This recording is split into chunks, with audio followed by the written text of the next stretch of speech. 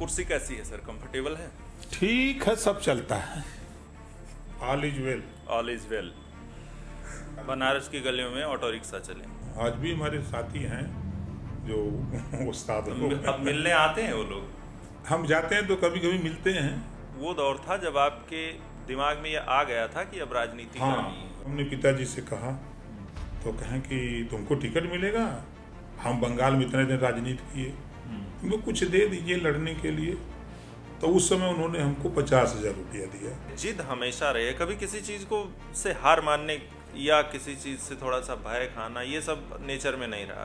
देखिए हमारी डिक्शनरी में नेगेटिव नहीं है पॉजिटिव है। खटपट रहती है फिर आप क्रेडिट भी दे देते हैं। नहीं। अब तो मंत्री पद है तो अब तुम नहीं नहीं मंत्री पद में तो सच कहता हूँ। ओपी राजभर की विश्वसनीयता पर सवाल क्यों? देखिए हम गरीब हैं कमज़ोर हैं अरे महाराज, अब तो गरीब नहीं, अब तो मंत्री हो गए। तो सुन लीजिए हाँ। ना हम छोटी पार्टी हैं अच्छा। जब समाजवादी पार्टी आठ बार पलटी मारती है कभी बसपा से कभी सपा से कभी कांग्रेस से कभी आरएलडी से तो उसको तो नहीं अभी अविश्वसनीयता कोई कहता है योगी आदित्यनाथ जी से मुलाकात जब होती है तो वो दौर भूल भुला दिए गए होंगे हमारा अच्छा संबंध है तब भी संबंध था दो हज़ार संबंध था। देखिए लड़ाई विचारों की होती है और राजनीति में कोई किसी का न दोस्त है न कोई दुश्मन है। ये बात नोट कर लीजिए। कभी कहने की घंटी बजाने की बात कोई बात नहीं। कभी नहीं कहते। चंद्रशेखर आज़ाद की राजनीति आपको कैसी लगती है? और अगर आपको कोई पर्सनल सलाह देनी हो उन्हें तो क्या कहें? देखिए अच्छे नेता हैं। दुर्भाग्य है कि मायावती जी अब उस लायक नहीं हैं। मतलब उस स्टेज पर नहीं है कि वो हर घटना में शिरकत करें। ओपी राजभर जी यूपी में शराब बंद करवाएँगे? हम तो 22 साल से चिल्ला रहे हैं। हमारी पार्टी की जिस दिन सरकार होगी भारतीय समाज पार्टी की जिस दिन सरकार होगी पहली दस्तखत शराबबंदी की होगी। उन्होंने किसी जमाने में एक विचारधारा की पौध लगाई थी। वो पौध जो देश की हर मिट्टी में उग सकती है। मिट्टी चाहे बंजर हो ऊसर हो या फिर उपजाऊ हो। उस दौर से लेकर आज तक वो पौध बढ़ती ही गई। भले ही मिट्टी अलग थी, भले ही उस मिट्टी की आर्द्रता और नमी अलग थी। किसी जमाने में अपने विचारों की क्रांति और जातीय उत्थान की सोच लेकर आगे बढ़ते ओम प्रकाश राजभर आज योगी सरकार में मंत्री हैं और हमारे आज इस पॉडकास्ट में शामिल हैं। जोरदार स्वागत कीजिए ओम प्रकाश राजभर सुभाषपा के राष्ट्रीय अध्यक्ष और योगी सरकार में मंत्री। स्वागत है सर। कुर्सी कैसी है सर? कंफर्टेबल है? ठीक है सब चलता है। ये इस सवाल के पीछे दो मायने हमारे हैं। शायद आप नहीं पकड़ पाए। सब ठीक ठाक चल रहा है। सब ठीक है। All is well all is well बड़ी आपाधापी रही है अब तक की राजनीतिक करियर में। देखिए जहाँ उतार चढ़ाव न हो राजनीति कैसे? जी। और जिस व्यक्ति में संघर्ष करने की क्षमता न हो तो वो राजनीति पाने के लिए दो ही बातें हो सकती हैं। कुछ पार्टियाँ हैं उनके यहाँ सलाम करे तब वो ऊंचाई पे जा सकता है या तो धरातल पे जिस तरह जहाज़ ऊंचाई पर जाने के लिए रनवे पर पूरी ऊर्जा लगा के दौड़ती है मेहनत करती है तब वो ऊंचाई पर जाती है।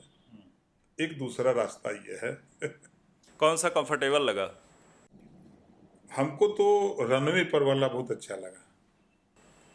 अब पहुँच पहुँच गए फ़्लाइट एयरपोर्ट तक। मैं आपसे राजनीतिक सवाल बाद में करेंगे। सर सबसे पहले हम ये जानना चाहेंगे बचपन कैसा रहा?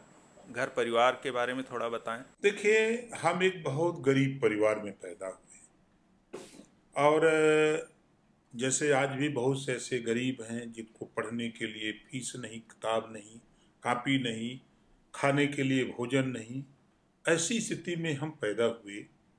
और जस जस हमारा जीवन उम्र बढ़ती गई तस तस गरीबी हमारे ऊपर हावी होती गई, हम उससे जूझते रहे, संघर्ष करते रहे। हम अगर बात शिक्षा पीरियड से शुरू करें तो मैं जब इंटरमीडिएट में था तो साइकिल का खुद अपना पंचर हचर और कोनिया गोली सब चेंज कर लेते थे ठीक कर लेते थे हर रविवार को। अपनी साइकिल खुद बना लेते। हैं साइकिल खुद बना लेते थे। अब कहाँ जाए मिस्त्री के यहाँ पंचर भी बना लेते थे टायर लीवर रखते थे सुलेसन रखते थे बालू कागज़ रखते थे कैंची रखते थे सब जुगाड़ रखते थे अपना बना लेते थे। कोई और मित्र मिल जाते थे किसी को दिक्कत होती तो उनका भी रगड़ के बना देते थे। फिर उसके बाद मैं बीए में गया तो एक भाई की तबीयत खराब हो गई। मकान गिर गया हम चारों भाई दब गए तो एक भाई को रीढ़ की हड्डी में चोट आ गई। तो कुछ दिन के बाद उसको दिक्कत हुई तो फिर उसको लेके हम लोग बी चले गए। तो पिताजी सर्विस करते थे एक एकलौते आमदनी का स्रोत था। हम चार भाई सब लोग पढ़ते थे। आप दूसरे नंबर के हाँ पहले नंबर। अच्छा पहले नंबर सबसे बड़े थे तो तीसरे नंबर वाले को चोट लगी थी। तो उसको हम लोग बी एच यू नौ महीने लेकर के रहे। उसी बीच आर्थिक स्थिति खराब हो गई। दवा के लिए भी पैसे की ज़रूरत फ़ीस के लिए। तो रात को ऑटो रिक्शा में चलाता था।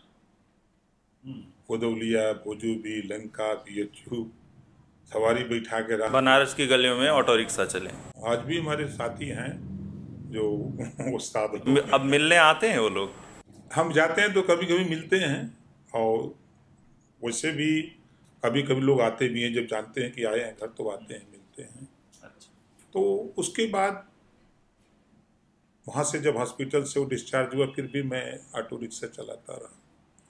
नहीं अटता था तो हमारी मौसी के लड़का थे हमारी उम्र के। तो उस समय उनकी किताब और उनके कपड़े आते थे तो मैं पहनता था। और समझ लीजिए कि महुआ का लाटा आजकल तो देखने को नहीं मिलेगा। खाने की तो बात दूर है और खा के कोई पचा भी नहीं सकता आज का नौजवान। तो महुआ का लाटा खा करके हम लोग स्कूल चले जाते थे उस गरीबी को झेला हूँ इस नाते गरीबों को लेके लड़ता हूँ। फिर बात एक भाई की नौकरी लग गई तीन भाई बचे तो हम लोगों ने कहा कि चलो कमर्शियल खेती शुरू करते हैं। तो हम लोग सब्ज़ी खेती शुरू कर दिए। पढ़ शिक्षा चालू थी फिर काम भी चालू था। थोड़े प्रॉफिट के लिए। हो गई पिताजी पाँच भाई थे।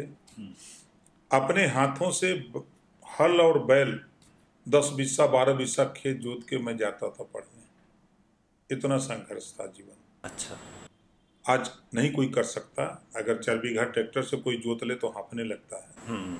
हम बैलों से दस बीसा बारह बीसा खेत की जुताई करके तब स्कूल तब जाते स्कूल जाते थे। और टाइम से दस चालीस पर पहला घंटा तो दस चालीस पर पहुँचने से पहले जाके साइकिल खड़ा करना स्टैंड में। फिर हाथ मुँह धोना पानी पीना तब तक घंटी लग जाती थी फिर क्लास में। पहुँच जाते थे। मास्टर साहब आते थे अपना। तो ये हम वहाँ देखे एक दिन जब मैं बनारस पढ़ रहा था तो कांसीराम जी का कार्यक्रम लगा था उसी दौरान। हालाँकि उसके पहले तीन कार्यक्रमों में कांसीराम जी के मैं जा चुका था। नहीं अभी हम रोकेंगे। एक बार शायद गुरु जी भी पंचर बनवाए थे आपसे। हाँ हमारे वो थे का नाम से जो हमको जूनियर हाई स्कूल में पढ़ाए थे। तो उनको पता था कि वो अपना बना उना लेते हैं साइकिल का पंचर। तो उनकी भी साइकिल पंचर हो गई तो अपना लेके आए तो हम तैयार थे स्कूल जाने के लिए। उन्होंने कहा कि हमारी साइकिल पंचर हो गई है कहाँ बनेगा? हम कि हम बनवा ही देते हैं। तो अपना टायर लीवर सुलेसन और वो कैंची लिया है घर से खोल के उनका भी पंचर बना के हवा भर दिए भैया हम के आप जाइए प्रिंसिपल साहब। और हम अपना स्कूल जा रहे हैं। तो उनका भी काम काम करने में देखिए कोई काम बुरा नहीं है। हमारे लिए हर काम अच्छा रहा। चोरी नहीं की। छिनैती नहीं की। किसी के साथ अन्याय नहीं किया। हम हमेशा संघर्ष करके ही, जैसे आपने ज़मीन की बात की।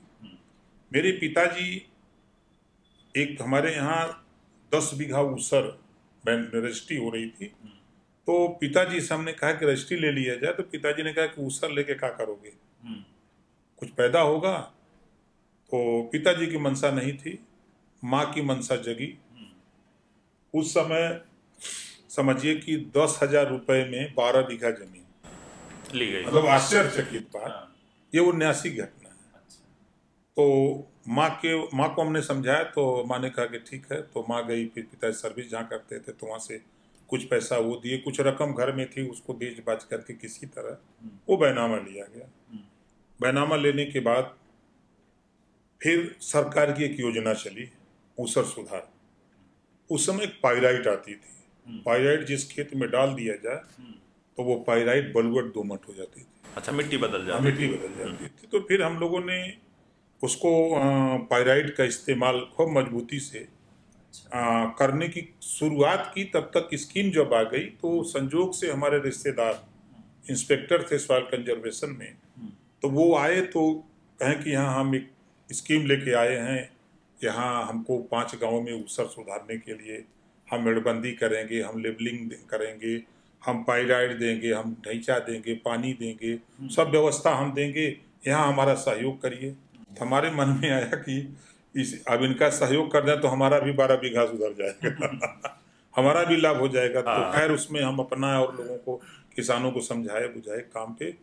तो पहली बार ही जब हमने पायराइड का इस्तेमाल किया तो हमने छोटी नाटी बोनी की मंसूरी छोटे कद की होती है उसकी खेती शुरू की बीज दिया हला विभाग ने ही। और आपको बता दूँ कि उस नाटी मंसूरी के खेत में मैं नहीं हिलने पर मैं नहीं दिखाई देता था।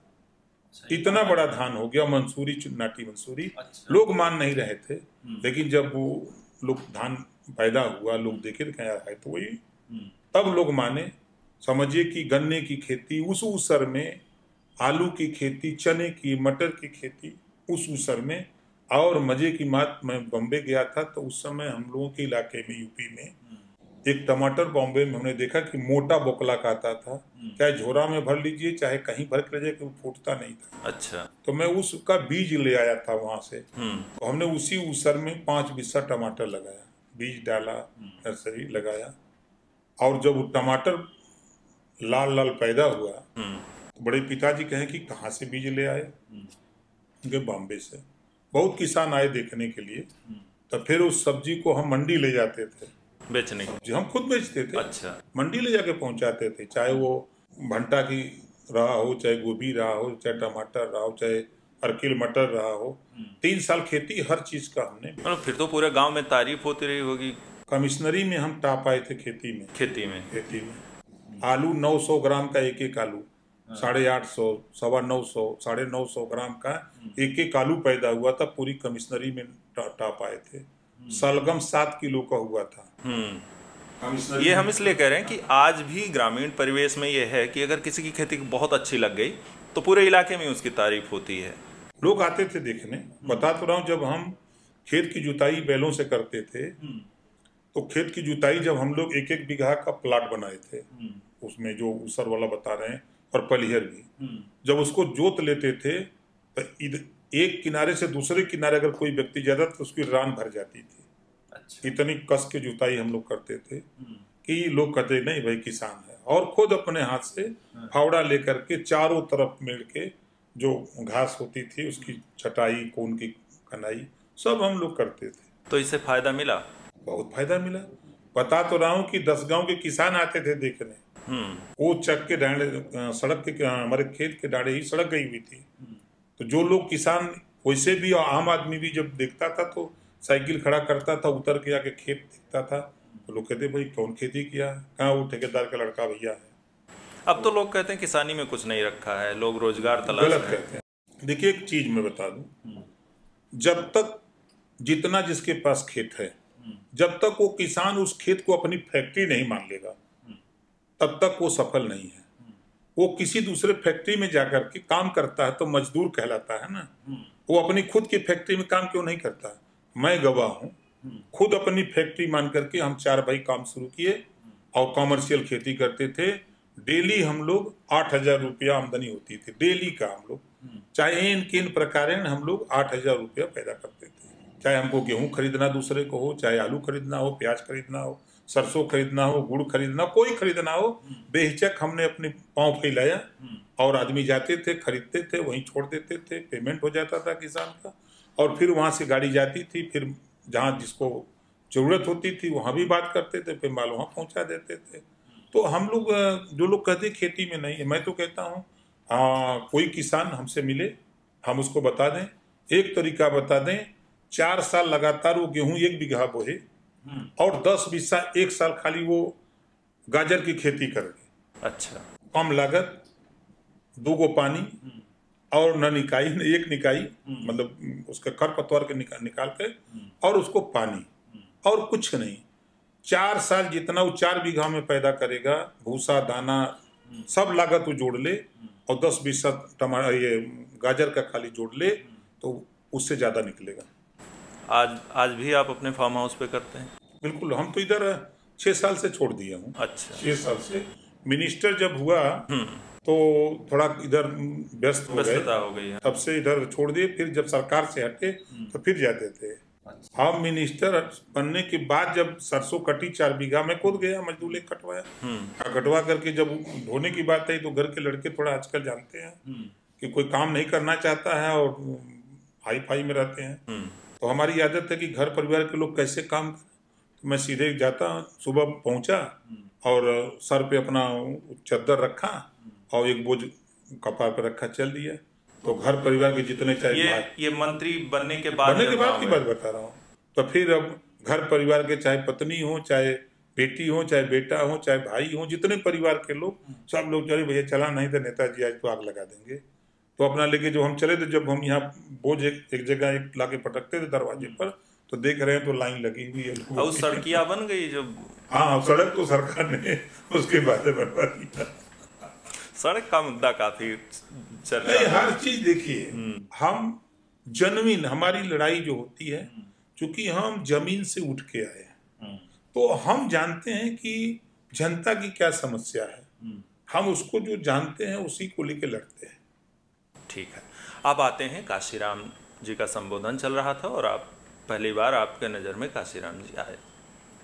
क्या हुआ फिर? कांसीराम जी की पहली मीटिंग में हम गए तो उनके विचार हमको बहुत अच्छा लगा। सामाजिक परिवर्तन की बात राजनीतिक चेतना की बात जो उन्होंने बताई लोग कुल मिला के करीब चौबीस लोग तो थे। अच्छा। उसमें हम लोग शामिल हो गए तब चौबीस हो गए। तो शामिल होने का वजह कि चूँकि आ, ट्रेन हम लोगों की छूट गई तो एक इंस्पेक्टर साहब थे तो उन्हीं की गाड़ी थी तो उन्हीं की गाड़ी से हम लालता राम एक लड़का था। उन्हीं का लड़का था दोनों एक साथ पढ़ते थे तो उन्हीं की गाड़ी में हम लोग आ जाते थे। ट्रेन छूट गई तो हम लोग उन्हीं के साथ तो कहें कि यार मीटिंग है लेट होगा। तो हम कहे चलो हम लोगों को मीटिंग में लेते चलो। तो चले गए तो हम लोग पीछे बैठे। तो बैठे तो आए बहुत अच्छी अच्छी बात बताए तो फिर उसके बाद मीटिंग खुली ये ये आपके कॉलेज के दौर का दौर हाँ कॉलेज गए उस समय हम लोग आ, इंटर में थे अच्छा इंटर में इंटर में थे उस समय और आप मीटिंग में गए? हाँ। शाम को पिताजी को पता चल? नहीं किसी को नहीं। कभी डांट पड़ी कि बेटा पढ़ाई करो नेतागिरी? पिताजी देखिए हम सर्विस में इंटर में ही आ, सब इंस्पेक्टर की नियुक्ति करा लिए थे। हमारा हो गया था। अच्छा। पिताजी को पता लगा बड़ी डांटे। हम्म, कहीं कि जाना नहीं है। हम हमारे यहाँ एक- एक विद्यालय उसमें बड़े बाबू का हमने अपना कहा करके मैनेजर से करवा लिया था। अच्छा। वहाँ छोड़वा दिया। पुलिस में भर्ती हो गए थे तो वहाँ छोड़वा दिया। मलेक्टी में हो गए थे वहाँ छोड़वा दिया। उनकी मनसा थी कि तुम पढ़ो नौकरी देखा जाएगा आगे। अच्छा तो, सिर्फ़ पढ़ते रहो नौकरी हाँ। अभी अभी हाँ, नहीं हाँ। करने की ज़रूरत। है। तो वो बराबर दबाव बनाते रहे कि पढ़ाई। तो दूसरी बार फिर वही घटना घटी तो कांसीराम जी उस दिन हम लोगों की जिज्ञासा कि आज कांसीराम जी से मिला जाए थोड़ा भाई। नेता नेता बहुत तगड़ा है। उस समय लड़कपन था। हम्म, तो इंस्पेक्टर साहब ले गए तो कांसीराम जी से बातचीत हुई तो उन्होंने कहा क्या करते हो तुम लोग? पढ़ते हैं। तो कहा तुम लोग पढ़ो मीटिंग के चक्कर में ना पढ़ो अभी। हम्म, अभी मेहनत से शिक्षा हासिल करो अभी बहुत समय है राजनीति का। हम्म, फिर उसके बाद और बातचीत उन्होंने समझाया फिर हम लोग चले आए। फिर एक दिन यही घटना क्योंकि ट्रेन छूट जाती थी। हम्म, आ, क्लास में लेट होते थे या जाम लग जाता था जाने में स्टेशन तो ट्रेन छूट जाती थी। हम्म। तो फिर तीसरी घटना हुई तो उसके बाद फिर हम लोग कांसीराम जी से मिले। तो देखते ही कहा कि पीछे बैठे थे। अच्छा तो हाँ वो खड़ा करा करो खड़ा खड़ा खड़ा करो वो लड़के जो खड़ा खड़ा हो। क्यों तुम लोग मीटिंग में चले आए? हम्म, तो अब हम लोग हैं सर छुट्टी हो गई थी हम लोग पढ़ के आ रहे थे। आपके विचार बहुत अच्छे लगते हैं। कहा नहीं तुम लोग मेहनत से पढ़ो। मीटिंग में मत आया करो। लेकिन देखिए जिसको साइलेंसर का धुआँ लग जाए हम्म, तो वो पीछे नहीं हट सकता। फिर हमारे यहाँ गंगाराम यादव बसपा के नेता थे उनका कार्यक्रम बाबतपुर बाज़ार में लगा। सूचना उधर हुई तो हम लोग चलो यहाँ भी देखा जाए। संजोग से उस दिन छुट्टी थी। तो घर परिवार के लोगों ने कहा कि वो बाज़ार से सब्ज़ी और दाल उल मसाला ले आना है। तो हम लोगों के चलो मसाला तेल उधर ले लेंगे या उधर आए। मीटिंग यूँ सुन लेंगे। अच्छा। तो आए सुने उन्हें देखे फिर चले गए। फिर एक मीटिंग लगी चोलापुर में तो भेंट हुई कुलचर मौर्या जी से। तो उनके डिस्पेंसरी पे एक बच्चे को दिखाने गए थे तो कहें कि एक सभा है चलो हमारे साथ छुट्टी है हम के चलिए चलते हैं। चले गए। तो माइक पर चढ़ा दिए। तो पहली बार माइक पर चढ़ने पर बोर्ड कहाँ पर आता? थर थर थर थर। और कुछ जानकारी थी नहीं कहा बोले? तो खैर जो भी बात आई तो महसूस हुआ कि हम माइक पर कुछ गलत बोल रहे हैं। मतलब ये वो दौर था जब आपके दिमाग में ये आ गया था कि अब राजनीति हाँ करनी है। राजनीति में। तो उसके बाद से तो फिर डॉक्टर साहब ने हमको लिख के दिया कागज़ पर कि इतना बोलना है। अच्छा। फिर उसको अंताक्षरी की तरह याद कर लिए। फिर माइक पर गए तो अंताक्षरी की तरह बोल दिए। तो फिर मौर्या जी समझाए कि इसको धीमी गति से बोलो। तो ट्रांजिस्टर में धीमी गति का समाचार पहले आता था। हम्म हम्म। अभी आता होगा आप सुनते नहीं। हम्म, तो हम फिर उसको कामा इन्वर्टेड कामा खड़ी पाई। अच्छा। इस तरह बताए तो उस तरह हम उसको धीरे धीरे बोले। तो उस दिन लोगों ने कुछ लोगों ने ताली खूब बजाई तो हमको लगा कि यार हम अच्छा बोल रहे हैं। फिर उसके बाद तो हम धीरे धीरे तो अपने से लिखने लगे जो गंगा राम जी बोल रहे थे या बी एक, एक थे हमारे यहाँ बी राम। सुबोध राम दीनानाथ भास्कर टीम थी लोग बोलते थे तो उसको लिखते थे। तो उसमें से काट छाट के लिखने लगे। शाम को पिताजी को पता चलता था नहीं पता तब तक नहीं पता लगा। अच्छा। पिताजी को पता तब लगा जब छानबे में पंचायत चुनाव। अच्छा। पंचानवे में पंचायत चुनाव की घोषणा हुई हम्म, तो हमारे यहाँ वो सीट महिला सीट हो गई। अच्छा। तो जिला अध्यक्ष ने कहा कि वो आपकी सीट महिला है किसी को लड़ाओ। हम्म, तो नहीं तो अपनी पत्नी को लड़ाओ। हम्म, तो हमने कहा कि ठीक। हम्म। तो पत्नी को हम जब लड़ाने को हुआ तो पैसा चाहिए कुछ पर्चा सर्चा भरने के लिए। तब हमने पिताजी से कहा तो कहें कि तुमको टिकट मिलेगा? हम बंगाल में इतने दिन राजनीति किए। हम्म, हमको कुछ दे दीजिए लड़ने के लिए। तो उस समय उन्होंने हमको पचास हज़ार रुपया दिया। अच्छा लड़ने के लिए। हाँ, ये। पंचानवे की बात है। हाँ तो दिया तो और वो कहें कि वोट कोनो देंगे तुमको। कहे एक दिन घूम जाइए। जब वो घूम के आए शाम को तो माँ से कहे कि देखो नेतवा से कह दो कि रुपया और चाहिए तो हम दे देंगे। पिताजी को बना हाँ लग गई। लगा कि अब ये जीत जाएगा। खैर लड़ाई हुई। समझिए कि सात लोग थे छह लोगों की जमानत जब्त हुई। अच्छा, एक तरफा वोट मिला। अच्छा। ये वहाँ कोई नहीं सब लोगों ने एक तरफ़ से उड़ दिया। कुल हमारे खिलाफ बारह सौ छाछठ वोट पोल हुआ था। अच्छा। सात कैंडिडेट। में छह लोग जो वोट पाए बारह सौ छाछठ। से सब एक तरफा वोट चारों तरफ़ मिला। खैर जीत भी उसी उसी बीच हम लोग और तेज़ी से आ गया चुनाव अध्यक्षी का। और अब कॉन्फिडेंस भी आ चुका था। हाँ अध्यक्षी का चुनाव आ गया। अध्यक्षी का चुनाव आ गया तो उसमें लेन देन वाला चुनाव होता है। तो हमको ये सब खबर थी नहीं। तो ब्रिजेश सिंह एक पार्टी की तरफ़ से जो बनारस वाले ब्रिजेश सिंह नाम तो जान गए। और एक तरफ़ जवाहिर जायसवाल थे। उस समय नाम जो शराब पीने वाले लोग थे तो कहते जवाहिर जायसवाल हम्म, चढ़े हैं इनके ऊपर। तो उनके एक नाम था बोलबाला था। अच्छा। दोनों के बीच टकराहट थी। और उस समय चंदौली बनारस में था। अच्छा। तो तिरपन मेंबर थे।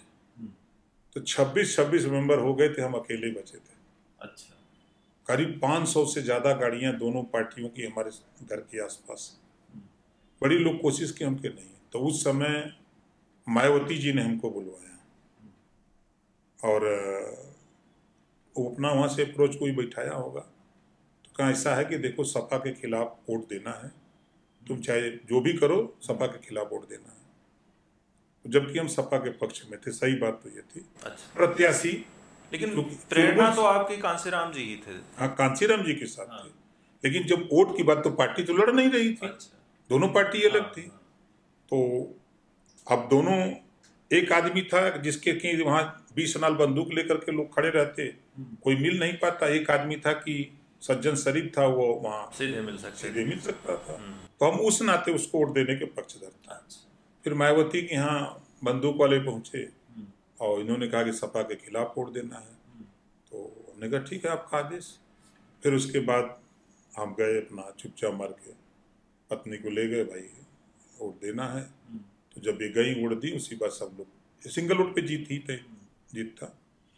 फिर वो चुनाव जीते, वहीं से चुनाव में क्रेज कि, भाई, ये आदमी टिकाऊ, बिकाऊ नहीं है लोग, पैसा लेकर के जितना लोग समझ लीजिए कि 26 मेंबर को दिए थे उतना रुपया देने को तैयार थे। हमने कहा कि नहीं यार देखो कांसी राम जी ने ये सिखाया है कि टिकाऊ तैयार करो वोटर। टिकाऊ नहीं, नहीं। हम्म। जब टिकाऊ तैयार करोगे तो सत्ता में जाओगे। हम्म। सत्ता मिलेगी। हम्म। बिकाऊ को कुछ नहीं मिलता है बस वही तुरंत त्वरित लाभ मिलता है। तो जो उनका फार्मूला था मन में था तो उसका रिज़ल्ट ये आया कि जब जीत गए तो तीसरे दिन मायावती जी ने बुलाया। अच्छा। बुला के कहा कि तूने मेरी बात मानी है और जाओ तुम कुलसला तैयारी करो चुनाव लड़े बोले विधानसभा। तो अब विधानसभा का चुनाव पहली बार लड़ना था। तो छियानवे में चुनाव विधानसभा का था। तो जब चुनाव टिकट मिल गया ये भी फार्म लेके लखनऊ से हम गए तब पिताजी से हमने कहा कि पिताजी विधानसभा का चुनाव लड़ेंगे। कहें टिकट मिलेगा तुमको? हमको मिल जाएगा तब। का मिल जाएगा तो पाँच लाख रुपया हम तुमको देंगे लड़ने के लिए। अच्छा। तो हमने कहा कि ठीक है। तो फिर हम अपना कागज़ पत्र बनवा करके जब वहाँ ये भी फार्म सब फार्म सबमिट कर दिए। तो अखबार में सुबह आया तो अखबार पढ़े। तो बड़े पिताजी प्रधान थे तो उनको बुला कर ये नेताओं का हम टिकट पागल हो कहा? तो भैया को बुलाया और लोगों को तो शाम को हम आए तो फिर बुलवाए कि टिकट मिल गया क्या? कि हाँ मिल गया? तो अच्छा ठीक है। तो उन्होंने उनको दो लाख दिया फिर दो लाख दिया फिर एक लाख पाँच लाख दिए। हम सोलह सौ छिहत्तर वोट से हार गए मात्र। उसमें कैप्चरिंग बहुत होती थी वोट की। Booth capturing. बूथ कैप्चरिंग वाला। उस बूथ कैप्चरिंग के शिकार हम हो गए नहीं तो हम जीतते कम से कम बीस हज़ार से। समीकरण नहीं गड़बड़ थे? नहीं कोई समीकरण गड़बड़ नहीं था। अच्छा। समझिए कि छप्पन बूथ पर हमारा वोट पचास परसेंट साठ परसेंट हम्म। वहाँ पढ़ने ही नहीं दिया गया। हम्म। मार के भगा दिया गया। पहले होता था अच्छा। गुंडागर्दी होती थी कि मार के भगा दो हम्म। वोट नहीं देना है। इस तरह का छप्पन बूथों पर हमको सिंगल वोट नहीं मिला जहाँ हमारा वोट कम से कम चार सौ पाँच सौ तीन सौ पोल होने थे वहाँ वोट नहीं देने दिया गया। उसके बाद हम सोलह सौ छिहत्तर वोट से हारे। मतलब चुनाव आप हारे लेकिन अब सपा के बसपा के सक्रिय सदस्य हो गए थे। बसपा में फिर चुनाव लड़े। चुनाव लड़ने के बाद फिर लोकसभा के चुनाव में हम लोग साथ थे। 2002 आते आते मायावती जी से हमारा किचकिच शुरू था। क्या था वो? देखिए कांसीराम जी सिखाए थे कि जो समाज अपना इतिहास नहीं जानता हम्म। अपने बुज़ुर्गों की कदर नहीं करता वो समाज कभी तरक्की नहीं कर सकता। हम्म। तो एक तरफ़ इतिहास की बात जब आने लगी तो हम भदोही भरों की राजधानी थी। हम्म। जैसे बहराइच हम्म। महाराजा सुहेल हम्म। तो हमने कहा कि जब एक तरफ़ इतिहास की बात थी तो जो वहाँ के राजा उनके नाम से उसका जिला कर दीजिए। जब हो रहे हैं तो उसी से उन्होंने कहा कि तुम बहुत बोलते हो। तुम्हारी बिरादरी के सुखदेव जी रामचल नहीं बोलते हैं तुम बहुत बड़ नेता बनना चाहते हो बड़का नेता हो। नहीं तो पार्टी से निकाल दूँगे कि नहीं निकाली उगाली नहीं। और फिर उन्होंने एक स्कीम लॉन्च किया था अंबेडकर ग्राम विकास योजना। हम्म। तो वो योजना सिर्फ़ दलित बस्ती के लिए हो गई। हम्म। उसका मैंने विरोध किया हम्म। कि गाँव में ब्राह्मण राजपूत भूमि या कोई भी जाति का हो योजना अगर गाँव एक चयनित होता कि अंबेडकर गाँव तो वो योजना सबके लिए जाए। तो उसका विरोध हमने किया तो उस पर हमको डांट मिली कि तुम जो हो रहा है होने दो। फिर उसके बाद कई इशू पर हमारे उनके संत कबीर नगर ज़िले का नाम रखना उसमें भी आपत्ति थी आपकी? हमको बिल्कुल आपत्ति थी। देखिए जब आप अपने महापुरुषों को उजागर कर रहे हैं हम्म। तो हम भी आपके साथ तो हमारे महापुरुष का नाम भी हम्म। उजागर होना चाहिए। हम्म। जैसे अब देखिए हम बीजेपी बीजेपी के साथ है बिजली बार मेरे दिमाग में थी ढाई सौ करोड़ रुपया मैंने सैंक्शन कराया मुख्यमंत्री से बहराइच का जो आज मूर्ति और भव्य पार्क बना हुआ है ढाई सौ करोड़। फिर उसके बाद डेढ़ सौ करोड़ रुपये सैंक्शन कराया। बना ना सुहेल देव जी की मूर्ति लगी पार्क बना। आज पूरा देश जान गया ना। कल तक सुहेल देव जी को जानने वाले अगर दो परसेंट थे तो आज भारत नहीं, पूरी दुनिया में जानने वाले लोग हो गए। दुनिया में चर्चा आज हो रही है। तो आज सुहेल देव सुहेल देव होने लगा। तो इतिहास के लेकर के हम फिर उनकी झगड़ा थोड़ा हुआ। कुछ काम जैसे विकास के काम। भाई जो गरीब और लोग हैं तो उनके भी बस्तियों में काम हो नहीं हुआ तो फिर 2002 में हमने छोड़ दिया। जो आ, 2002 का चुनाव था उसी में चुनाव में चुनाव के दौरान ही हमने उनको छोड़ दिया चुनाव के पहले ही। फिर हम चले गए डॉक्टर सोनल पटेल जी के साथ। उन्होंने कहा कि कुलसला आप तैयारी किए हो लड़ना और हमारे साथ हो हम क्या नेतागिरी नहीं करेंगे 2004 का लोकसभा चुनाव है। वो तो पार्टी तैयार पार्टी तब तक बन गई पार्टी बन गई। हम 2002 में जब लोग विधानसभा का चुनाव हुआ उसके बाद पार्टी बना ली। 2004 का लोकसभा का चुनाव अपनी पार्टी से हम्म। हमने बारह कैंडिडेट खड़ा किया। हम्म। उसमें। हम्म। तो कहीं हमको पचास हज़ार कहीं साठ हज़ार कहीं सत्तर हज़ार कहीं अस्सी हज़ार इस तरह वोट मिली। फिर हम लोग 2007 का चुनाव सात का चुनाव। हाँ, मजबूती से लड़े। तो आठ प्रत्याशी उतरे। नहीं दो हज़ार सात में हम लोग करीब 112 प्रत्याशी उतारे थे। अच्छा। हाँ वो दौर था। अच्छा। ये तो आठ प्रत्याशी दो हज़ार सत्रह सत्रह सत्रह जब अलायंस हुआ बीजेपी से तो उन्होंने आठ सीट हमको आठ सीट दिया। तो उसमें हम लोग तो चार जीते चार, चार जीते हाँ। हार गए। तो अब उसमें सरकार में मिनिस्टर बने। तो मिनिस्टर बनने के बाद हमारी लड़ाई मुख्यमंत्री से शुरू हो गई। अच्छा इस लड़ाई पे बाद में आते हैं। पहले वो 2007 और 2017 10 साल का बड़ा अंतर। आपको हार भी मिली है। और पार्टी बना लिए हैं 10 साल का ये संघर्ष कैसा रहा क्या अच्छा विचार चलता देखिए 2002 से लेकर 2014 तक हम्म। हम अनवरत धरातल पे हम्म। हम सबसे पहले तो हम अपनी कम्युनिटी को समझाए उनमें सामाजिक जो कुरीति थी हम्म। उसको दूर करने की बात उनको समझाई हम्म। और अशिक्षा उनमें अट्ठानवे परसेंट थी हम्म। तो हम उनको समझाते रहे हर साल तीन महीने हम स्कीम चलाते थे, हमारी योजना होती थी मई, जून, जुलाई, तीन महीने हम कहीं भी रैली सभा करते थे तो वहाँ शपथ दिलाते थे कि जो यहाँ मीटिंग में आए सब लोग खड़े हो जाओ ईश्वर की शपथ है। कि अपने परिवार में, अपने घर में, अपने बच्चे को, बेटा को, बेटी को स्कूल भेजना है। यहाँ आए हो तो भेजना अगर नहीं भेजोगे तो दोबारा हमारी मीटिंग में मत आना। हम्म। ये हम अनवरत अभियान चलाए उसका रिज़ल्ट हमको मिला कि आज जहाँ अट्ठानवे परसेंट शिक्षा थी आज अट्ठानवे परसेंट शिक्षा हो गई।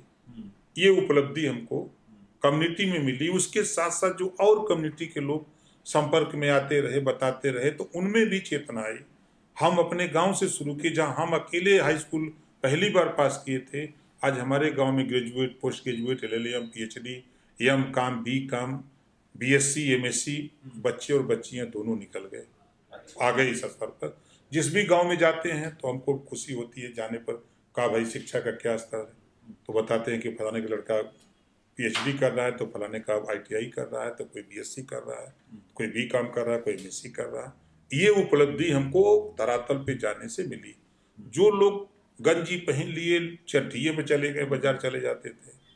कुछ लोग जो है लुंगी पहन करके और गंजी पहन करके बाज़ार से किल से चले जाते थे। तो उनको हमने सामाजिक व्यवस्था बताया कि देखो तुम इससे गाली सुनते हो कोई देखता है तो वो गाली देता है कि बताओ इसको बाज़ार लुंगी पहन के जाने क्या मतलब जिसको ऊपर लाने की आप कोशिश कर रहे थे अब उसका रिज़ल्ट दिखने लगा। एकदम हंड्रेड परसेंट आज एक भी व्यक्ति लुंगी और गंजी में बाज़ार नहीं जाता है। ये स्थिति पैदा हो गई। अब सबके मन में ये हो गया कि नहीं अपने बच्चे को पढ़ाना है। हम्म। बच्चा पढ़ेगा तभी उसको रोज़गार और नौकरी मिलेगी। और बच्चा पढ़ेगा तभी वो आगे बढ़ेगा। ये बात लोगों के जेहन में हमने भर दिया। उसके बाद हमने जब उनमें राजनीतिक चेतना धीरे धीरे हम भरते रहे। हम्म। पंचायत चुनाव से क्या होता है? हम्म। निकाय चुनाव से क्या होता है? एमएलए से क्या होता है? हम्म। तो हमने पहले टर्न में करीब 700 प्रधान बनवाया। अच्छा। उसके बाद करीब 1400 प्रधान बनवाया। तो 700 प्रधानों से आसपास के लोगों से मीटिंग कराते रहे बात कराते रहे। तो हानि लाभ वो लोग बताते थे कि देखो हम प्रधान बन गए तो सिपाही भी आते हैं हमारे यहाँ दरोगा जी भी आते हैं हमारे यहाँ। S D M D M कोई अधिकारी कोई बात आता है तो सीधे प्रधान के यहाँ। तो उनको लगा कितना पावर है। तो जब वो प्रधान का पावर समझे तो प्रधानी के चुनाव में उनको जागृति पैदा की वोट था इतना। तो अब फिर दोबारा जो है चौदह सौ लोग प्रधान हो गए। आज उन्नीस सौ लोग प्रधान हैं। फिर जिला पंचायत जीतवाने लगे। जिला पंचायत किसी ज़िले में चौदह किसी में बारह किसी में आठ किसी में सात किसी में तीन किसी में पाँच इस तरह जीतने लगे। तो जब वो वहाँ जाने लगे तो वो ज़िले में अपने बताने लगे कि क्या लाभ हानि है। तो लोग वहाँ उभर गए। तब लोगों ने कहा कि नेताजी लखनऊ न ले चलवा हम लखनऊ भी चलेंगे अब।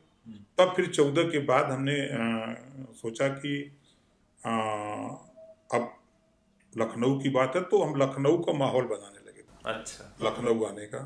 तो माहौल बनाते बनाते तो फिर भेंट हो गई ओम माथुर जी से। अच्छा। गए थे बनारस और बनारस एक बड़ा कार्यक्रम हम लोग किए थे। तो वहीं भेंट हो गई। एक सज्जन हमारे मित्र थे वो कहें कि एक हमारे नेता से मिल लो यार। वो बुला रहे हैं। तुम कहे चलो नेता से मिल लेते हैं। मिले तो बातचीत हुई तो उन्होंने कहा कि आ, हमारे एक नेता हैं उनसे मिल मिल सकते हो। तो हम के देखिए भैया हम दिल्ली जाने के लिए हमारे पास पैसा नहीं है कि हम दिल्ली जाएँ। तो कहा कि हमारे साथ चल सकते हो। हम कहे आएँगे कैसे? कहा चलो हम आने जाने का टिकट करा देते हैं। हम कहे चलो। तो फिर उनके साथ मैं दिल्ली गया तो अमित शाह जी से बातचीत हुई। तो बातचीत में उन्होंने कहा कि ओम प्रकाश जी यूपी में हम सरकार बनाना चाहते हैं। उनके बन जाएगी। मतलब ऐसा जनरल भी उनका बन जाएगी। कहीं आप ऐसे कह रहे हो कि जैसे कि लगता है कि आप बनवाई दोगे हमको बन जाएगी। कहा नहीं हम सीरियस कर रहे हैं अच्छा एक जिद हमेशा रहे। कभी किसी चीज़ को से हार मानने या किसी चीज़ से थोड़ा सा भय खाना ये सब नेचर में नहीं रहा आपने। देखिए हमारी डिक्शनरी में नेगेटिव नहीं है पॉजिटिव है। आप पॉजिटिव करते जाइए। जो निगेटिव होना होगा तो अपने आप होगा। रेगिस्तान में भी पानी तलाश लेने की कला है। कहीं भी। देखिए इच्छा शक्ति अगर आपकी है तो मंजिल आपको मिलेगी कोई मंजिल हो। हम धरातल से शिक्षा पीरियड से चले आज यहाँ आपके यहाँ बैठे हैं। तो अब इसी पे एक घटना बता दें 2003 में जब मैं पार्टी के स्थापना दिवस का कार्यक्रम मऊ के सोनी धापा में रखा तो तीन दिन पहले मैंने एक प्रेस वार्ता रखी। प्रेस वार्ता रखी सबको बाकायदे लिखित नोटिस भेजा सभी दफ्तर में खुद मैं उसमें हम ही करते थे। कोई नहीं समझदार नहीं था ना जितने लोग जानकार थे। तो मैं खुद सबके यहाँ जा जा करके नोटिस दिया सबको सलाम दुआ किया कि भाई आइए। फिर हम लोग नोटबुक कलम मिठाई खरीद के और लेके बैठे कि टाइम दिया ग्यारह बजे का लोगों ने बताया ग्यारह बजे रखिए तो ग्यारह बजे। अब ग्यारह बजे से तीन बज गया कोई अबे नहीं किया। तो हमारे प्रमुख जी थे पूर्व प्रमुख थे राजेंद्र सिंह जी।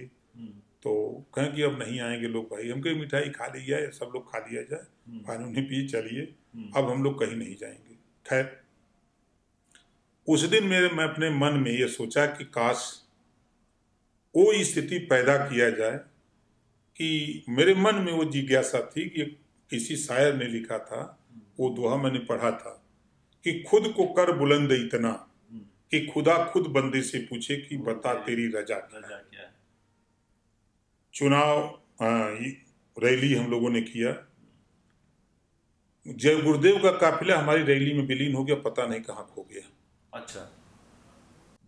पत्रकार भाई उसी दिन राजनाथ सिंह जी का कार्यक्रम खुशी लगा हुआ था वहाँ चले गए थे। जब वहाँ से लौटे तो सारे लोग जाम में फंस गए हमारे जाम में। अब जो जहाँ फ़ोटो खींच रहा जो जहाँ लिख रहा है सात दिन लगातार वो खबर अखबारों में छपी। अच्छा। उफ इतनी भीड़ दिग्गजों ने दांते तले दबाई उंगलियाँ। बीबीसी लंदन से समाचार प्रकाशित हुआ कि भारत देश के सबसे बड़े प्रदेश उत्तर प्रदेश के पूर्वांचल में नवोदित पार्टी एक रैली करके आज वो आगाज़ कर दिया है कि आने वाले दिनों में इस पार्टी को कोई इग्नोर नहीं कर सकता है। उस समय 2003 की बात और 2003 की वो प्रेस वार्ता की घटना जब मैं सोचता हूँ जब आप लोगों के बीच में बैठता हूँ तो फिर वो दोहा मुझे याद आता रहता है कि आदमी संघर्ष करे और निष्ठा ईमानदारी से करे एक लक्ष्य बना के चले तो निश्चित है कि वो कभी फेल नहीं हो सकता। लक्ष्य पाने की जिद हमेशा से रही।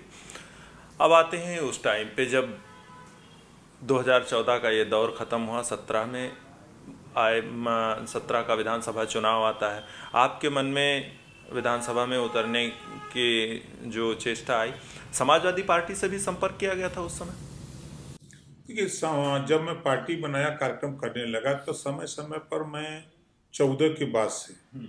सत्रह के बीच में हम्म। मैं कांग्रेस पार्टी सोनिया जी से भी हमने बात की अच्छा और उसमें राहुल जी से भी बात हमारी होती रही हम्म।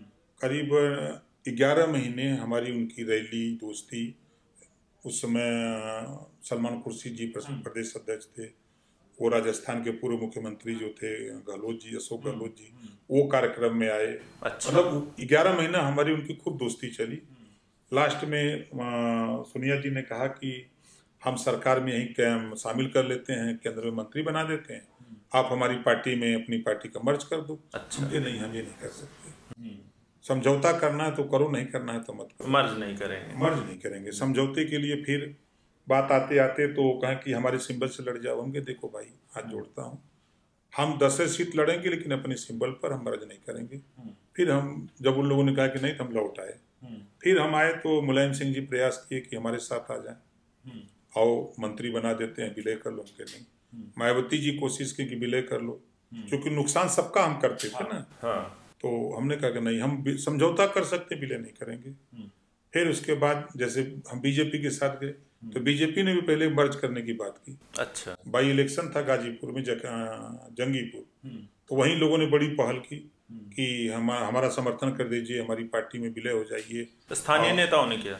नहीं नहीं उस समय आपके जो प्रदेश अध्यक्ष और संगठन मंत्री अच्छा। सांसद विधायक सारे लोग वहाँ कोई बाई इलेक्शन था सबका डेरा डाले थे। हम्म, हम्म। हम भी होटल में रुके थे सब लोग रुके थे। तो रोज सुबह संजा मुलाकात होती थी। अच्छा।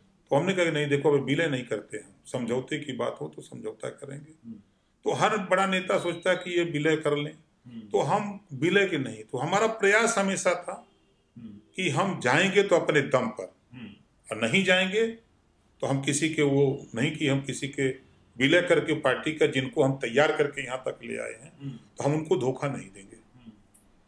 तो अपने दम पर आए इस नाते अपने दम पर हम डेढ़ साल मुख्यमंत्री जी से अधिकारों को लेकर के विचारों की हम लड़ाई अरे क्या बातें होती थी उस समय बड़ा कहा जाता था जब ये चल रहा था कि अब ओम प्रकाश राजभर बीजेपी से अलग हो सकते हैं सुभाषपा अपना नाम अलग हो सकती है क्योंकि दोनों के बीच खटपट क्या चल रहा था उस समय देखिए सामाजिक न्याय समिति की रिपोर्ट राजनाथ जी जब मुख्यमंत्री थे 2001 में हम्म। तो उन्होंने एक हुकुम सिंह के नेतृत्व में एक सामाजिक न्याय समिति बनाई कमेटी बनाई हम्म। सत्ताईस परसेंट आरक्षण को बांट करके देने के लिए। हम्म। उसी रिपोर्ट को लागू कराने के लिए बीजेपी के साथ गए थे अच्छा। सत्रह में। अमित शाह जी ने भी कहा कि लागू हो जाएगी। उस समय माथुर जी ने भी कहा। उस समय सारे लोगों ने इस बात को उनसे कहा। फिर उसके बाद जब मामला हम गर्म आए कि नहीं भाई अब सरकार बन गई। हम्म। अब तो बात शुरू हो जाए। होगा होगा। सदन में भी तीन बार चार बार मुख्यमंत्री जी ने हम्म। आश्वासन दिया। हम्म। लेकिन प्रगति नहीं हुई। तो फिर आपने देखा होगा कि अमित शाह जी दो बार आए लखनऊ। लखनऊ आए योगी हाँ। जी और ओम प्रकाश राजभर और अमित शाह जी बीच में बैठा कर उन्होंने दो बार पंचायत कराई। हमने कहा कि नहीं। या तो लागू करो नहीं तो हमारी छुट्टी करो। नहीं कर सकते। उस पर हमारा कोई समझौता नहीं। अच्छा। तो जिससे हम वादा करके आए हैं हम हाँ। उनसे झूठ नहीं बोल सकते ना। हाँ। तो फिर ये हुआ कि अभी हम लोग लागू नहीं कर पाएँगे। हम्म। हमने कहा तो ठीक हम नहीं रहेंगे साथ। हम्म। छोड़ दिया। लौट गए। हम्म। फिर उसके बाद हम अपने काम में लग गए। और हमारा काम है कि गरीबों के बीच में जाना उन्हीं का खाना उन्हीं के यहाँ सोना और उन्हीं की बात करना। आपके बड़े भैया बड़े भैया कहते हैं संजय निषाद जी को। जी। हाँ बड़े भाई हैं। हाँ। उनसे जब बात हुई तो आ, हम एक बार पूछे तो उन्होंने कहा कि देखो अगर हमें अपने समाज का उत्थान करना है तो हमें सरकार में रहना ज़रूरी है। अब वो किसी की भी सरकार हो ज़रूरी नहीं है कि हम सरकार से अलग रहें और हम अपने समाज का उत्थान कर सकें। क्या आप ये मानते हैं? देखिए ये कट सत्य है कि लड़ाई सत्ता के लिए होती है। हम्म। और सत्ता से ही समाज का भला हो सकता है। हम्म। सत्ता से बाहर रह करके हम्म। आप समाज में सब कुछ कर सकते हैं लेकिन समाज की किसी थाने पर फिर भी आप सत्ता से बाहर रह करके हम्म। नहीं कर सकते हम्म। मदद नहीं कर सकते। किसी तहसील पे किसी की ज़मीन नपवाना हो किसी की तहसील पे पैरवी करना हो एसपी के यहाँ सीओ के यहाँ डीएम के यहाँ कमिश्नर के यहाँ बगैर सत्ता से आज जैसे हम सत्ता में हैं संजय भाई ने जो कहा सही कहा। आज हम फ़ोन करते हैं डीएम को तुरंत लाइन पर। अगर किन्हीं कारणों से नहीं है तो मैसेज गया तो तुरंत फ़ोन आ जाता है बैक कॉल आ जाता है। तो अब अगर हम सत्ता में नहीं होते तो वो संभव नहीं था। तो सत्ता एक साधन है। समाज के हित के लिए सत्ता एक साधन है। और पार्टी लोग कहते हैं भाजपा बुरी है। हम कहते हैं कि कोई पार्टी बुरी नहीं है। अच्छा। इस नाते के हमारा इतिहास मैंने पढ़ा हूँ जो मैंने देखा नवासी में माननीय मुलायम सिंह को मुख्यमंत्री बनाने में भारतीय जनता पार्टी का समर्थन रहा है नवासी में। मायावती जी को मुख्यमंत्री बनाने में भारतीय जनता पार्टी का सहयोग रहा है नेता बन गए देश की नेता हो गई अनुप्रिया पटेल जी को नेता बनाने में भारतीय जनता पार्टी का सहयोग। संजय निषाद जी को नेता बनाने में भारतीय जनता पार्टी का सहयोग। ओम प्रकाश राजभर को देश की राजनीति में चमकाने में एक नेता है भारतीय जनता पार्टी का सहयोग। तो भारतीय जनता पार्टी से खटपट रहती है फिर आप क्रेडिट भी दे देते हैं। नहीं अब तो मंत्री पद है तो अब तो मंत्री पद में तो सच कहता हूँ। हाँ, मैं तो यही बात है कि जब आप लोग सवाल करते हैं हाँ। मैं कांग्रेस के का, काम की बात करता हूँ मायावती जी की बात करता हूँ हम्म। अखिलेश की बात करता हूँ जो लोगों ने काम किया उसको कहता हूँ। चुनाव के पहले जब गठबंधन नहीं था बीजेपी से तो जब कांग्रेस की बात करते थे आप कांग्रेस से अब समझौता पार्टी छोड़ते फिर लताड़ने लगते हैं आप। नहीं लताड़ते नहीं। उनके काम जो हैं हाँ, देखिए जो अच्छा काम उसको तो अच्छा कहेंगे जो बुरा है बुरा इस नाते कहते हैं हाँ। देखिए अगर हम बात करें समाजवादी पार्टी की हम्म, तो 27 परसेंट आरक्षण सबका हक है पिछड़ों में। हम्म, जब वो अकेले लील रहे हैं तो, तो बुराई नहीं करेंगे। हम्म, बीस परसेंट वोट मुसलमानों का लेते हैं हम्म, और बोरा का बोरा मुसलमान पागल होकर के हम्म। जो उनके बोरा में भर देता है फिर खाली झोरा थमा देते हैं कुछ देते हैं मुसलमानों को। ये बात तो मैं कह कहूँगा ना। लेकिन लोक भवन अखिलेश ने बनाया इसको मैं कहूँगा कि लोक भवन अखिलेश ने बनाया है। जेपीएनआईसी भी बनाया है। बनाया मैं कहूँगा बनाया तो अब आप उन्होंने आगरा एक्सप्रेस बनाया है मैं कहूँगा। लेकिन ये भी कहूँगा कि पूर्वांचल एक्सप्रेस वे योगी जी ने के बनवाया है। बुंदेलखंड एक्सप्रेस वे योगी जी ने बनवाया है। गोरखपुर लिंक मार्ग योगी जी ने बनवाया है। आज सात साल के अंदर एक जन की हानि हुई अभी हाल में बहराइच में। और कहीं दंगे नहीं हो पाते थे। लेकिन ये पहली घटना हुआ है जो किन्हीं कारणों से हो गई। अगर हम सपा की बात करें तो उनकी अच्छाई भी है तो बुराई भी है। 815 दंगा हुए उनकी सरकार में। हम्म, सपा के कार्यकाल में 815 दंगे हुए। लगभग 1300 जन की हानि हुई संपत्ति की हानि हुई। कांग्रेस की बसपा के रिजिंग में 600 दंगे हुए। उनके जन की 1200 लगभग जन की हानि हुई। किसका फेल्योर रहा बहराइच में ठीक है कुछ ऐसे शरारती तत्व तो हैं समय समय पर खुराफात करने की कोशिश तो ये तो सपा सरकार में भी रहे होंगे। और शरारती तत्व। मैं तो कह रहा हूँ लेकिन अंकुश आपने देखा सात साल। हाँ। साढ़े सात साल सब जगह अंकुश लगा रहा। योगी जी के शासन में एक भी दंगा नहीं हो पाया था। हाँ। ये तो है ना? हाँ हाँ। लेकिन कहीं न कहीं वो जो शरारती तत्व बदनाम करने की नीयत से कहीं न कहीं एक घटना को अंजाम देने की बड़ी घटना करने की कोशिश माहौल खराब कर लेकिन हम धन्यवाद देते हैं बहराइच के प्रशासन को कि बड़ी बारीकी से, सूझबूझ से और एडीजी को भी धन्यवाद देता हूँ कि इन्होंने बड़ी बारीकी से उसको अध्ययन करके उसको कब्जे में किया और घटना को बृहद होने नहीं दिया। बहुत सी इस समय सबकी निगाह है, बहुत से लोग हैं कि किसी तरह बदनाम किया जाए सरकार को। एक होता है, लेकिन सरकार भी एकदम मन बनाए हुए कि हम कहीं भी कोई भी व्यक्ति कानून का हाथ कानून अपने हाथ में लेगा तो हम लेने नहीं देंगे। पूरी कोशिश में सरकार लगी रहती है। ओपी राजभर की विश्वसनीयता पर सवाल क्यों उठते हैं? देखिए हम गरीब हैं कमज़ोर हैं छोटी अब तो हैं, तो मंत्री अरे बतिया तो सुन लीजिए हाँ। ना हम छोटी पार्टी हैं। अच्छा। जब समाजवादी पार्टी आठ बार पलटी मारती है कभी बसपा से कभी सपा से कभी कांग्रेस से कभी आरएलडी से तो उसको तो नहीं अविश्वसनीयता कोई कहता है। वही हाल बसपा जब नौ बार पलटी मारती है कभी इनसे कभी उनसे कभी उनसे तब कोई नहीं कहता है। कांग्रेस करती है तो कोई नहीं करता है लेकिन ओम प्रकाश राजभर को ज़रूर उंगली उठती है। हम तो दुइया बार में ही हाल है। योगी आदित्यनाथ जी से मुलाकात जब होती है तो वो दौर भूल भुला दिए गए होंगे। हमारा अच्छा संबंध है। तब भी संबंध था 2000 तब भी संबंध था। देखिए लड़ाई विचारों की होती है। और राजनीति में कोई किसी का ना दोस्त है ना कोई दुश्मन है। ये बात नोट कर लीजिए। हम्म, कभी कहे नहीं कि घंटी बजाने की बात कोई बात नहीं। अच्छा। कभी नहीं कहते। अच्छा। अच्छा व्यवहार क्या है? जब आप लोगों की मीटिंग होती होगी तो योगी आदित्यनाथ को कहा जाता है कि बड़े गंभीर हैं बहुत लहजे से कोई फैसला लेते हैं। नहीं देखिए पिछली सरकार से इस सरकार की अगर बात करें तो बड़ा परिवर्तन मुख्यमंत्री में है। अच्छा। पिछली सरकार अभी अध्ययन करते होंगे। हम्म। पिछली सरकार से इस सरकार में बड़ा परिवर्तन। और परिवर्तन देखने को मिलता है। और पिछली सरकार में भी जब तक मिनिस्टर था हर कैबिनेट की मीटिंग में जब कोई बात होती थी तो हाँ भाई ओम प्रकाश राजभर जी कुछ कहना है इस बिंदु पर अगर डिप्टी सीएम दोनों से पूछते थे या वित्त मंत्री से पूछते थे या किसी से पूछते थे हम्म। तो हर बिंदु पर ओम प्रकाश राजभर से ज़रूर पूछते थे अगर हम नहीं बोलते तो भाई क्यों नहीं? राजभर जी क्यों नहीं बोल रहे हैं? हम्म। आपको नहीं कुछ कहना है।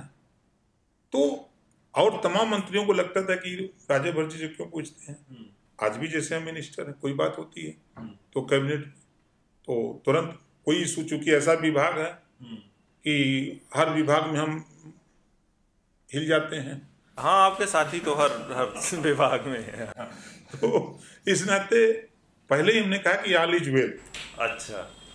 कोई तो दिक्कत नहीं। लेकिन मिलवाए दिल्ली वाले ही थे शायद। नहीं मिले तो हम पहले नहीं से थे। डायरेक्ट मिले थे। हाँ, नहीं असल में हुआ यूँ कि आ, एक दिन अवनीश अवस्थी जी का फ़ोन गया कि मुख्यमंत्री जी बात करना चाहते हैं। अच्छा। उनके बात करा दीजिए हम्म। तो हालचाल पूछे कहाँ हैं? तो उनके हालचाल तो ठीक है कहाँ हैं? उनके लखनऊ है। क्या मुलाकात हो सकती है? उनके बिल्कुल हो सकती है। वो राष्ट्रपति का चुनाव था। तो कहें कि आ जाओ। तो कल हमके कहाँ आ जाए? कालिदास मार्ग आ जाए कि कहाँ आ जाए बताइए। तो कहा नहीं कालिदास मार्ग आए। तो गए। तो बैठे बातचीत शुरू हुई करीब पच्चीस मिनट हमारी उनकी बातचीत हुई। तो उन्होंने कहा कि देखो जो लड़ाई आप लड़ते हो वही लड़ाई हम लोग भी लड़ रहे हैं। ऐसा नहीं कि अलग है। आप पिछड़ी दलित अल्पसंख्यक की बात करते हो, हम लोग भी दलितों की बात करते हैं, पिछड़ों की बात करते हैं, सबकी बात करते हैं। तो हम लोग दलित चेहरा राष्ट्रपति प्रत्याशी बनाए हैं। आपके पास छह गो वोट है, आपका वोट चाहिए क्योंकि बिल्कुल मिलेगा। क्यों नहीं मिलेगा? तो कहें कि परसों द्रौपदी मुर्मू जी आ रही हैं और हमारे यहाँ भोज है और उसमें आप आइए उनके बिल्कुल आ जाएँगे। का उन्होंने कहा है कि भाई राजभर जी को से मिलवा दीजिए। अच्छा। तो हमने कहा कोई दिक्कत नहीं आ जाएँगे भोज में हम भी। तो फिर उसके बाद फ़ोन आया धर्मेंद्र प्रधान जी का। अच्छा। वहाँ से। हालाँकि हम सत्ता से बेशक दूर थे हम्म। लेकिन हमारी दस दिन आठ दिन पर अमित शाह जी का फ़ोन हम्म। धर्मेंद्र प्रधान जी का फ़ोन और महीना दो महीना पर पीएम साहब का फ़ोन हम्म। आता रहता था। अच्छा। तो बेशक हम सपा के साथ थे कोई दिक्कत नहीं लेकिन संबंध हमारा रहा। हम बीजेपी के खिलाफ थे लेकिन उनहत्तर हज़ार शिक्षक भर्ती में चार बार सीएम से मिले। और मिले भी और उन्होंने जब जाँच कराई अड़सठ सौ छह हज़ार आठ सौ उनकी जाँच में आया तो हमने कहा भर्ती करा दो? अगर नियुक्ति उनकी करा दो? कहा नहीं ज्वाइन लेटर मिल रहा है। चली तो आलोचना भी खूब देखिए राजनीति है ना? अच्छा। देखिए राजनीति है। हम्म। अब कहाँ कब क्या बोलना चाहिए? हम्म। तो अब सरकार में है। हम्म। तो हर चीज़ होती है। विपक्ष जो है वो विपक्ष सिर्फ़ विरोध करता है और सत्ता का काम है काम करना। तो हमारा संबंध सबसे है। हम विपक्ष में तो माननीय ब्रजेश पाठक जी हो माननीय केशव प्रसाद जी हो माननीय दिनेश शर्मा जी हो चाहे जो भी मिनिस्टर हमारे गोल के थे हमारे समय के सबसे संबंध सबसे बातचीत होती कोई काम भी होता था तो फ़ोन करते थे हो जाता था। तो हम अपना संबंध सबसे बना के रखते हैं। ठीक है। अब आप मंत्री हैं और आप दिल्ली से जुड़े भी रहते हैं। अभी पिछले दिनों एक जब लोकसभा चुनाव खत्म हुआ, उसके बाद दिल्ली और लखनऊ के बीच सामंजस्य को लेकर कई सारे सवाल खड़े हुए। और उसमें आपको देखा जा रहा था कि आप एक बिचौलिया की तरह भूमिका निभा रहे थे। क्या ये सच है? एक जो परसेप्शन बनाया गया, लखनऊ वर्सेस दिल्ली, योगी वर्सेस शाह, इसकी सच्चाई कितनी है? देखिए, जो ये मैसेज यहाँ था, जो आपने कहा, सही कहा। मुझे बुलाया गया था। और मैंने वहाँ जो यहाँ की सच्चाई थी मैंने कहा कि इसको दूर करिए? सबको बैठाइए बैठा करके ये जनता में गलत मैसेज जा रहा है। और उसका रिज़ल्ट यहाँ के प्रदेश अध्यक्ष बीजेपी को बुलाया गया डिप्टी सीएम को बुलाया गया सीएम को बुलाया गया और नेताओं से राय मशविरा किया गया। हम लोगों से भी किया गया। अच्छा। उसका रिज़ल्ट आ गया। अच्छा। ये अपने केशव मौर्य जी के बयान को सुना दिनेश शर्मा जी के बयान को सुना। ब्रजेश पाठक जी के बयान को सुना भूपेंद्र चौधरी जी तो चौधरी जी के बयान को सुना और मुख्यमंत्री के भी बयान को सुना। अब उसी पे मैंने पहले ही अब तीसरी बार आपके सामने कह रहा हूँ ऑल इज़ वेल एक जमाने में आप जब बसपा से अलग हुए थे दोनों विचारधारा एक थी। और एक आज के दौर में एक नए नेता उभरे हैं चंद्रशेखर आज़ाद। चंद्रशेखर आज़ाद की राजनीति आपको कैसी लगती है? और अगर आपको कोई पर्सनल सलाह देनी हो उन्हें तो क्या कहें देखिए अच्छे नेता हैं और नौजवान उनको लाइक करता है। लाइक इस नाते करता है उनकी कम्युनिटी की बात मैं कर रहा हूँ। हाँ। कि कहीं आज कहीं भी कोई घटना होती है तो उस कौम के लोग सोचते हैं कि हमारा नेता हमारे बीच में आ गया। दुर्भाग्य है कि मायावती जी अब उस लायक नहीं है मतलब उस स्टेज पर नहीं है कि वो हर घटना में शिरकत करें। तो चंद्रशेखर भाई नौजवान हैं संघर्षशील हैं और वो पहुँच जाते हैं। तो उस घटना में जाने के बाद पूरे प्रदेश में एक मैसेज चला जाता है कि भाई चंद्रशेखर जी हर घटना में शामिल हो जा रहे हैं। इस नाते जनता में उनकी अपनी छवि बन रही है। और छवि नहीं होती तो सांसद कैसे होते ओपी राजभर जी यूपी में शराब बंद करवाएँगे? हम तो 22 साल से चिल्ला रहे हैं। हमारी पार्टी की जिस दिन सरकार होगी भारतीय समाज पार्टी की जिस दिन सरकार होगी पहली दस्तखत शराबबंदी की होगी। अच्छा ठीक है। शराबबंदी होगी। अब एक सवाल हम ये पूछेंगे कि आपने देखा बसपा बसपा की बात करें, आप कांसी राम जी के विचारों से प्रभावित होकर बसपा ज्वाइन किए।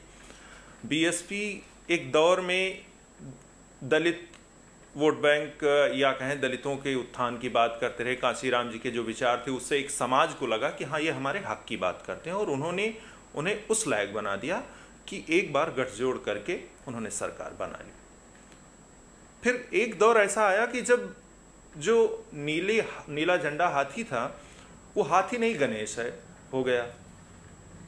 एक वो नारा था जब तिलक तराजू का आपको भी याद होगा। खूब बढ़िया। याद- बड़ा तगड़ा बोलते थे हम लोग। हाँ हम नहीं बोल सकते उसको अभी। तिलक तराजू का फिर फिर वही हाथी गणेश हो गई। मतलब ये लगा बसपा को कि एक किसी पर्टिकुलर समाज की राजनीति करके शायद सत्ता में नहीं आया जा सकता। अब अभी मैं सवाल पूरा कर रहा हूँ। अब शायद सत्ता में नहीं आ सकता। समाजवादी पार्टी की बात करें तो मुलायम सिंह यादव जी, एक बार यादव और दलित राजनीति किए, फिर एमओआई फैक्टर बन गया। ओम प्रकाश राजभर जी को क्यों ऐसा लग रहा है कि हम राजभर समाज की राजनीति करेंगे? हम या ओम प्रकाश राजभर, नहीं, कोई भी राजनीतिक दल हो, एक समाज की राजनीति करके वो सत्ता में आ सकता है। देखिए, यही भ्रम है लोगों को, ओम प्रकाश राजभर एक जाति की राजनीति नहीं करता। पहली बात। हाँ ज़रूर प्लेटफॉर्म बनाने के लिए कि मजदूर पहले काम करता है अपने घर का। नेक होता है तो अपने घर का व्यक्ति लपटता है जैसे गरीब आदमी है तो अपने घर से लोगों को लप लपट करके नेक होता है। ज़रूरत पड़ती है तो अपने घर के लोग ईंटा भी थमा देते हैं। ज़रूरत पड़ती है तो सीमेंट बालू और गिट्टी मिला देते हैं। सीमेंट ज़रूरत पड़ती है तो वो पानी भी दे लेते हैं। लेकिन जाति की बात आपने की तो देखिए जाति तो तब तक होगा जब तक देश में प्रदेश में तहसीलों से ठप्पा मार के जाति प्रमाण पत्र मिलेगा। तब तक जातिवाद होगा। अगर जातिवाद को खत्म करना है तो पहले तहसीलों से ठप्पा मार के जाति प्रमाण पत्र देना बंद कर दें। उसी दिन जातिवाद खत्म हो जाएगा हम कह रहे हैं। और रहा सवाल बसपा का कि कांसी राम जी ने नारा दिया समाज को एकत्रित करने के लिए। कि समाज कांग्रेस के साथ जुटा हुआ है। कांग्रेस से कैसे साथ छोड़ के आवे? तो वो नारा और भावना बोल करके बात बोल करके अपने वोट को कलेक्ट कर लिए। उन्होंने अगर बात अगर समझे तो उन्होंने नारा दिया था पंद्रह पचासी। अब उसको दूसरे विरोधी दूसरे रास्ते समझते थे। कांसी राम जी का कहना था कि पचासी को पचासी का हक मिले पंद्रह को पंद्रह का हक मिले। कहने का उनका तात्पर्य था लास्ट में आ, आप फिर आपने जो कहा कि आ, ब्रह्मा विष्णु महेश है। हाथी नहीं गणेश। हाथी नहीं गणेश है ब्रह्मा विष्णु महेश है। क्यों कहा? कि अब हम सब लोग पचासी उस लायक बन गया है कि अपने हक के लिए जागरूक हो चुका अब हम सब लोग मिलकर के जो लोग जो उपेक्षित हैं उनको हक दिलाना चाहते वो हमारे साथ आ सकते हैं। तो वो लोग आ गए और सबको लेके साथ चलने लगे। रही बात मुलायम सिंह की तो मुलायम सिंह अपनी ताकत पैदा करने के लिए पहले खुद को खड़ा होना पड़ता है खुद अपनी कम्युनिटी को खड़ा करना पड़ता है तब जो है आना पड़ता है। तो उसी तरह ओम प्रकाश राजभर पहले अपनी कम्युनिटी को खड़ा किया। और उसी के सहारे लोगों को सुनाता रहा कि हम जैसे आपने कहा शराबबंदी।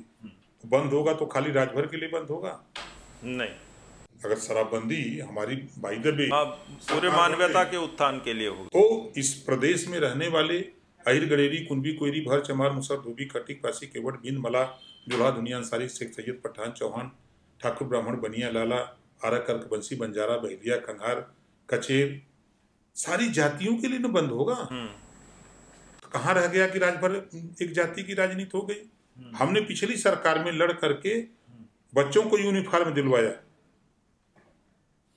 आज जो बच्चे पढ़ रहे हैं सरकारी स्कूलों में यूनिफॉर्म इसके पहले बीजेपी की सरकार थी उसके पहले भी सरकार थी लेकिन ध्यान नहीं आया लेकिन कैबिनेट में इस बात को मैंने रखा हाँ। कि एक तरफ़ एक एक ही गाँव से एक बच्चा यूनिफॉर्म पहन के निकलता है एक तरफ़ एक होमगार्ड की वर्दी तो होमगार्ड की वर्दी हटा के यूनिफॉर्म तो वो तो सबको मिला किसी एक जाति को नहीं मिला। हाँ। अब जैसे हमने नई स्कीम अभी अभी अभी हमने नई स्कीम अपने विभाग से लॉन्च कराया।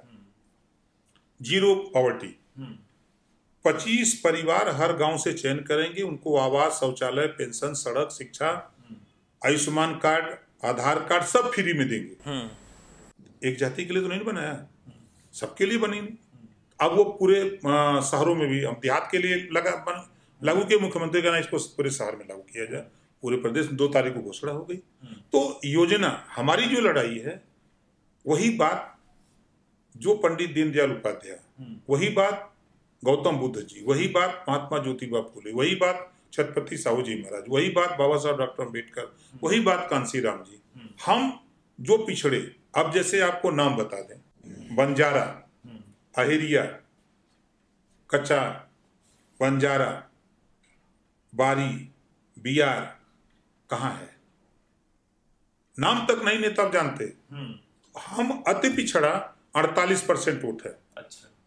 जिसकी बात हम करते हैं जिसको लेके चलते हैं अड़तालीस परसेंट ये वोट है जो सरकार बनाता और बिगड़ता है। तो उसको हम कलेक्ट कर रहे हैं। हमारे साथ हज़ारों हज़ार ब्राह्मण हज़ारों हज़ार राजपूत हज़ारों हज़ार यादव हज़ारों हज़ार पटेल कोई ऐसी कम्युनिटी नहीं है कि जिसको ओम प्रकाश राजभर अपनी गोल में शामिल न किए हों। तो लेकिन बात तो जब जब जब जब हम आपको सुनते हैं तो यही होता कि चाहे वो समाजवादी पार्टी हो चाहे बीजेपी हो चाहे कांग्रेस हो किसी ने कभी सुहेलदेव भारतीय समाज पार्टी या राजभर समाज के उत्थान के लिए कुछ नहीं किया। चार बार सरकार सपा की थी। हम्म। चार बार की सरकार में एक भी सुहेल देव की मूर्ति कहीं लगवा दिए हूँ। हम्म। एक पुलिस की भर्ती में कहीं खोज करके कि नहीं राजभर की भी हिस्सेदारी है। और हम्म। उनके साथ जो राजभर है वो लोडर है सब बैठे सब। औकात नहीं बोले। हम तो कहीं भी रहते हैं तो खुल के कहते हैं कि हिस्सेदारी के लिए लड़ो। हिस्सेदारी मांगो। बसपा का वही हाल था कांग्रेस आज राहुल जी बोल रहे हैं कि पिछड़ों को हक नहीं दलितों को हक नहीं मुसलमानों के साथ अन्याय। किसने किया? आपकी सरकार थी। दिल्ली में सरकार आपकी लंबे समय तक प्रदेश में सरकार लंबे समय तक आपने क्यों नहीं दिया? मतलब आने वाले समय में ये माने कि राजभर जी अपनी खुद की पार्टी से सत्ता में आ जाएँगे। देखिए हर पार्टी कोशिश करती है कि हमारी सरकार बने। हम लोग भी उसमें लगे हैं। हम्म। मंत्री जी जिलों से कुछ रिपोर्ट्स आई जहाँ ब्लॉक प्रमुखों की बड़ी शिकायत आ रही है। आप सत्ता में हैं। वो कहा जा रहा है कि प्रधानों को बड़ा टॉर्चर करते हैं बड़ी वसूली चल रही है। आप तक वो रिपोर्ट आती है? ऐसी बात नहीं। अभी मैंने प्रमुखों की मीटिंग ली थी। अच्छा। तो जो प्रमुखों की समस्याएँ थी पहले उनकी समस्या हमने हल की। उसके पहले मैंने जिला पंचायत अध्यक्षों की मीटिंग की उनकी समस्या सुनी उनकी समस्या हल करने के लिए कानून बन गया। वो जो हमसे हो सका करीब सत्तर पचहत्तर परसेंट उनका काम कर दिया। हम्म। फिर हमने अपने अधिकारियों की आ, अपने डीडी जो डिप्टी डायरेक्टर हैं हम्म। और जो हमारे ये अपर मुख्य अधिकारी हैं जेई यही एक्सियन हैं हम्म। हमारे डी पी आर ओ हैं ये डी पी आर ओ हैं इनकी मीटिंग हमने ली। अच्छा। उनकी समस्या सुनी उनकी समस्या हल की। अभी हमने A D P R O की मीटिंग ली थी अभी कुछ दिन पहले। तो उनकी समस्या उन लोगों ने सुनाया। उनकी समस्या के लिए चीफ सेक्रेटरी से बैठक हम अपने करने जा रहे हैं मुख्यमंत्री से। उनकी समस्या का हल करने जा रहे हैं। तो हम अब इसका अगला स्टेप हमारा प्रधानों से है। अच्छा। देखिए परे, परेशान कहीं कोई नहीं है। परेशान कहीं कोई नहीं है सिर्फ़ समझदारी की बात है। हम्म। हम हमको अगर पाँच सौ रुपया मिला है तो बताया गया है कि हमको इस मद में खर्च करना है। अच्छा। तो हम उस मद में खर्च करें तो कोई दिक्कत है नहीं। अगला पड़ाव क्या होगा ओपी राजभर जी का? हम जहाँ हैं वहाँ हैं। अभी जब तक बातें सही हैं तब तक हैं। हम देखिए हमारी लड़ाई गरीब कमज़ोर पिछड़े दलित वंचित सोचतों की है। अच्छा। उनके लिए हम लड़ते कहीं रहते हैं हम लड़ते रहते हैं। मतलब लड़ाई जारी रहेगी। मैंने पहले ही सबसे पहले ही यही कहा था कि पौधा बढ़ता गया भले ही ज़मीन बदलती गई। और ये कोई दिक्कत नहीं। ये देखिए आप अगर उठा के देखेंगे हम्म। बीजेपी को ही देखिए। हम्म। सपा से समझौता हुआ था ना नवासी में। हम्म। अब सपा की बात करिए कांग्रेस से समझौता हुआ बसपा समझौता हुआ। मैं फिर कह रहा हूँ कि छोटी पार्टियों की तरफ़ सबकी उंगली उठ जाती है लेकिन बड़ी पार्टी की तरफ़ कोई उंगली नहीं उठा सकता। तो ये आरोप ओपी राजभर जी का है, क्योंकि वो हमेशा यही कहते आए हैं कि हम छोटी पार्टी हैं, इसलिए जो भी जो सवाल उठाना चाहे उठा ले। हालाँकि उनके अपने विचार हैं, वो उन विचारों को लेकर हमेशा आगे बढ़ते रहेंगे। जो क्रांति या जिस समाज की उत्थान के लिए आगे बढ़े थे, एक हिस्से को अपने साथ लिए और अभी बहुत कारवा उनके साथ जुड़ता जाएगा, आगे सपने बड़े हैं और उनके सपनों के लिए हमारी शुभकामनाएँ पहले से हैं। फ़िलहाल इस पॉडकास्ट में इतना ही और राजभर जी हमारे साथ शामिल हुए, आपका बहुत बहुत थैंक यू